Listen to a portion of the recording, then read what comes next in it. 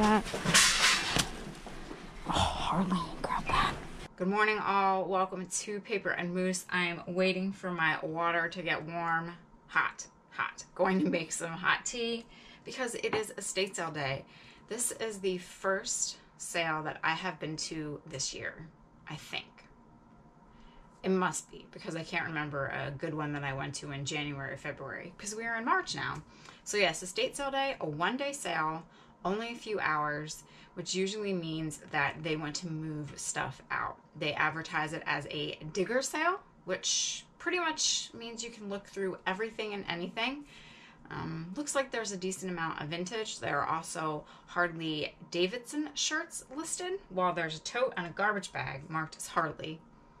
We shall see. Uh, in the vintage tee world, those are what they call holy grails.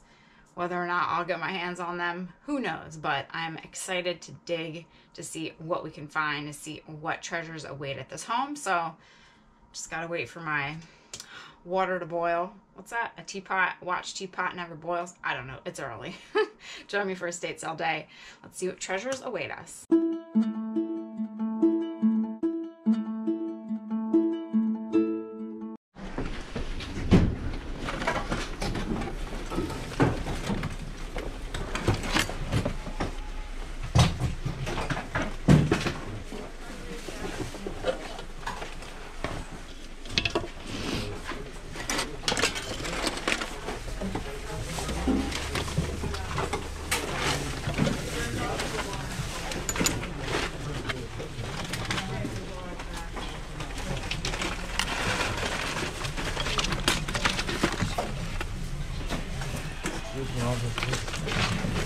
Sure.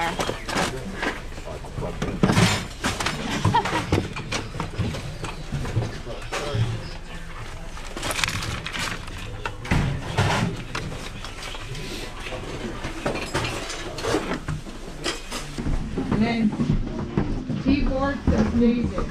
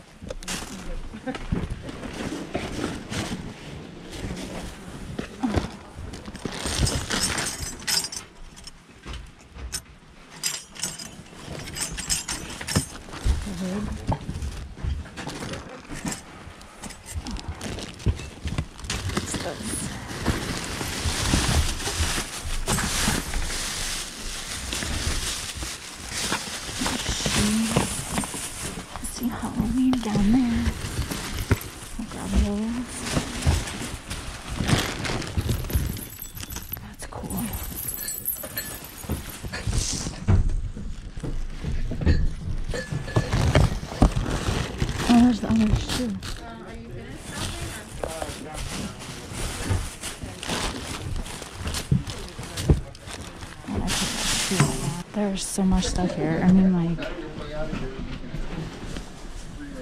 Halloween. That's neat. I gotta put my bags down.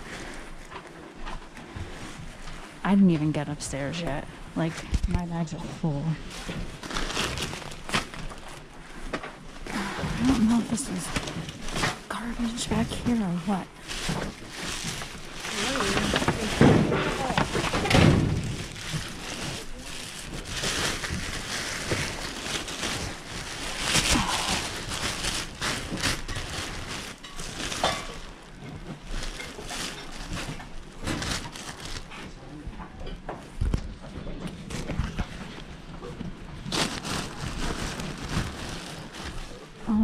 so cute.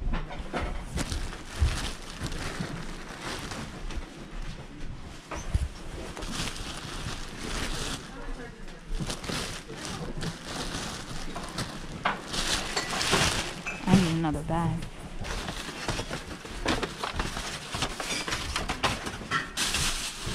That looks like clothes.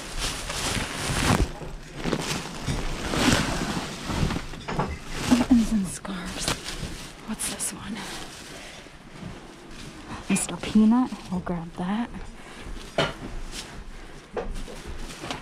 What's this one?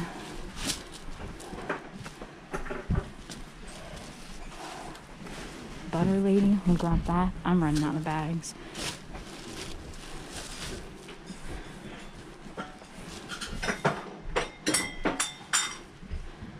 That one we're not to take. Budweiser. Grab that. Harley. Grab that. This is the Florida one. Grab that. Oh, he's broken. Oh man, that's awesome. It's a light. What a shame. That's really cool. I'm gonna look at it anyway, because just in case. You never know. Alright, so you see here this Mr. Peanut in good conditions, 179.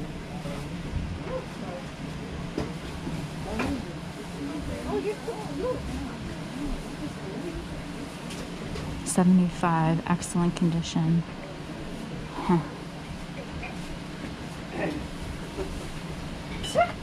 Nightlight.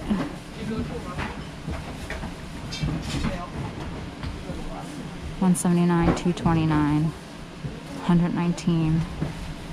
So maybe mine. I could just sell it. I don't know how hard it would be to repair it. That was definitely a digger sale. I went straight to the basement. Well, first, when they opened, they let us go into the garage area. So some people shopped, some people just headed straight for the door to wait. I looked in the garage because you never know what you're going to find. I was hoping, you know, maybe some paperwork, some paper, some interesting tins, but I came away with a few neat things. Now, I did not walk away with any Harley Davidson shirts, though I did find some other Harley items. There was a man there that got to the home at 5:30 in the morning and started a list. So he was on the mission to get the shirts. I think he got a few of them. Uh, there was another guy that bought some other ones. You know, I, I knew going in there I wasn't going to get them. It's just a matter of fact, you know, unless I wanted to get there before 5:30 in the morning to get them. But no thanks. So yeah, shopped in the garage first, and then went in the house. I went straight to the basement. I wasn't going to fiddle faddle with upstairs. Upstairs is where things were marked and priced, so I like to go where where they're not because I think you get better deals and also you find some some great things. And I think I found a few a few really neat things today. Um, I paid $25 for everything that I bought. I'm going to show you some more of the interesting items um, and some items that you perhaps see, you know, saw me look at in the video. I did buy them. I'm just not showing them. If I were to show everything, it would be like a 20 minute recap. And I can just imagine the complaints about that. but yeah, digger of a sale. A lot of fun digging through boxes, bags, going under tables, totes. These people had a lot of stuff. But what was shocking, shocking, is that I didn't see any vintage holiday. None. No vintage Christmas, vintage Halloween, nothing. And that I thought was a little bit odd considering the age of the items in the home. Uh, there were some Halloween costumes, which I think I bought some pieces of, but you know, nothing crazy vintage. Canned food, sewing, uh, lots of bags of trash too. So when I'm at that sale, I will dig through those bags. I will dig in the corner. I will dig under things because I like to dig and you never know what you'll find. So what did I come away with? Well, let's see. Um, we're going to talk Harley. The Harley items that I did find, I found a bag in the basement with all vintage towels. And I went through and I took the best ones. I think there was a Mr. Peanut, some like butter towel. I think I have that here. So that was fun. And amongst those towels, we have the Harley Davidson motorcycle, you know, beach towel. This is in really great shape. I don't know if you could see it. I don't think there's a tag. Oh, there is. Cannon, New York. Um, I think, you know, between this towel and the Harley hand towel that I found, I will have paid for everything that I got at the sale. This is a really great shape, not a lot of stains at all. So again, I found that whole bag in the in a pile in the back of the basement. That I did pick up this shirt. It is older sneakers. It's an extra large. It's University Medevac when minutes matter, uh, Lehigh Valley Hospital. It does need to be cleaned, but I liked I like this. I like the ringer style shirts. I think they add you know a pop and a touch of color. Got that. I found these. So there was a tote that had a mixture of clothes and I think some Halloween costumes, and I was enjoying going through there. We found these shorts. They say no all over them, and they're actually made by Wrangler. They have a Wrangler tag. So these could be pretty good too.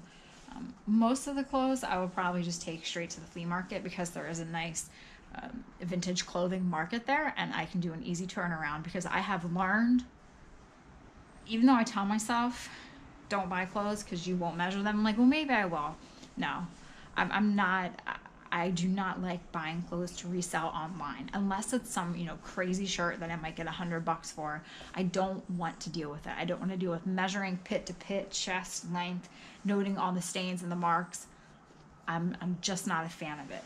But, you know, if these shorts online, you know, if these are going to ring 50 $60, I will gladly sell these online because at the flea market, they might offer me 10 bucks. We'll see. I don't think I'm going to fit them. Um, to keep going with the clothing theme, again, in that tote. So this is suede, I believe. Yeah, you oh use suede brush only. So I think this may have went with their Native American garb. There were moccasins in there that I grabbed, um, and some other items. This will go straight to the flea market.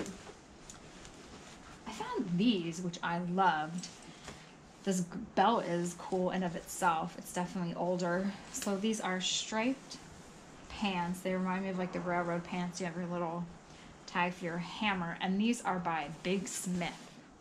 So this is another brand that I will just look up online. Again, I've never heard of it. I don't know what the market is, but we shall see. These are pretty cool. I don't know if I could fit them. Um, I did buy this. It came with pants too. It's a type, I don't want to say kimono, but it's very pretty. It has lovely stitching of a dragon on there. And again, nice shape. Those are all the clasps. For the basement, there weren't there were some things that looked like they had water damage, but for the most part, everything was, was still in pretty pretty decent shape. We got that.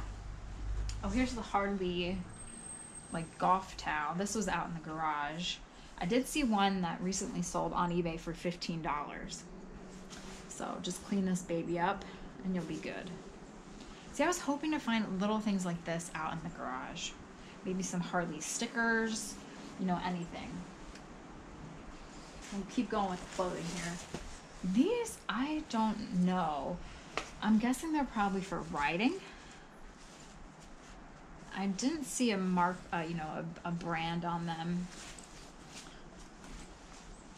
I don't think they're motorcycle pants. so these will go to the flea market as well. Here's another one of the towels. This is fun. It's uh, Mary Jane candy. Hopefully it'll see it. so you pick that up. And that is a Joe Franco towel, or So Franco. Joe Franco or So Franco. Franco. so I love these vintage towels. They're a lot of fun. Also makes finding your place at the beach a little bit easier because how many people are going to have this towel? I did buy, I think I've ended up two pairs of the um, saddle shoes. Some sh- saddle shoes can be great sellers online. It just depends on the condition and the size. I wonder if I could fit these. they're not moving anywhere. Um, these are Far's brand, so I'll have to look them up. But I bought two pairs of those. Some little guys. Uh, we have Raggedy Andy. This is a Knickerbocker. I did not find Raggedy Ann in that. There was a bag of stuffed animals, so I picked him out. And then I picked this cute guy, Smokey Bear, the official Smokey Bear issued by, licensed by the U.S. Forest Service. And this is also a Knickerbocker. His one little ear has some damage, but isn't he adorable? So he'll be another one to look up. I haven't looked up anything yet because I wanted to get the recap done and then look up stuff and get inside and get warm. But he was really cute. Then I think maybe my favorite find because I just love the look of it were these sponges. Capital dome shaped sponge. It's capital for He Man Job. So these were out in the garage in one of the cabinets. They're still in my wrapper. You, know, you can't use the sponge, but it's just fun. This will look good on a shirt, as I like to say. What these are worth, I have no clue. I bought it because I really enjoyed the wrapper, and you know, what did what did these cost me? A couple cents. So, I enjoy these. You know, vintage advertising, vintage, um, new old stock products. They're they're great to put on display. I just, it's just neat. That's why I bought it. So maybe I need to stop buying things just because I think they're neat. But it is, you know. You know, maybe I'll throw one of these up online, or I think these would also do well at the flea market just because of the look of them. So yeah, $25. I got two bags of stuff and I think I did really well. I just love these kind of sales. I love, love digging. I love just finding a corner and being in my own world and digging. I need to remember my headlamp though. I should have bought the one that Larry got me. Why didn't I do that? I didn't, I don't know. Why? Why, Renee? Why? I need to make myself a checklist and before I leave, have it up on my refrigerator before I leave, go through and make sure. Headlamp is one of them because that would have made things a lot easier. I'm not even sure how this footage turned out. Hopefully, I got some. we shall see. So, thank you for joining me. I hope you enjoyed going, and I hope, I'm hopeful that there will be plenty more digger estate sales in the future. So thanks for watching. Hope you have a great day. And if you are out to your local estate sales, good luck and may you find your treasure. I'll see you all next time.